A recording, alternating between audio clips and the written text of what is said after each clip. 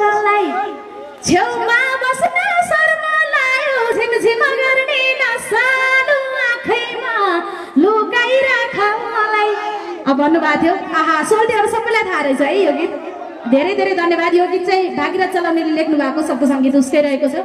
र यो गीतमा चाहिँ अलिकति प्र्याक्टिकल पनि जाने भन्नुभएको छ। सोल्टी अगाडि आउनु पर्ने हुन्छ।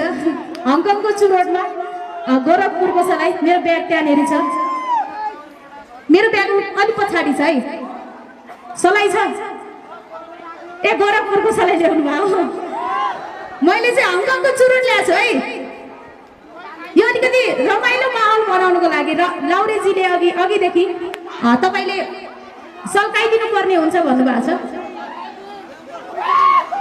सल्काउने हो। भन्न त भन्यो सोल्टी चुरोट सल्काउने घरमा बुढी बाहिर बाहिर ठिटी पल्काउने। ए नेपालीको बानी हो। ठिकै छ। हङकङको चुरोट हो होइन? यो फेरि स्वास्थ्यको लागि हानिकारक छ है। यहाँलाई थाहा छ पक्कै पनि। स्वास्थ्यको लागि हानिकारक नै हुन्छ होइन? भनेर भनौँ भने यो चाहिँ यहीँको चुरोट हो है। शिखर चुरोट। सोल्टी तपाईँ अब यही यहीँ आउँछु यहीँ आउँछु भन्नुभएको थियो ल सोल्टीले यति गर यति गरिदिनु पर्छ तपाईँले भूमिका चाहिँ म तपाईँको फ्यान हो भन्नुभएको छ। तपाईँलाई रहरै लाग्यो मेरो तर्फबाट खानालाई भनेपछि? सघाउनु पऱ्यो नि त।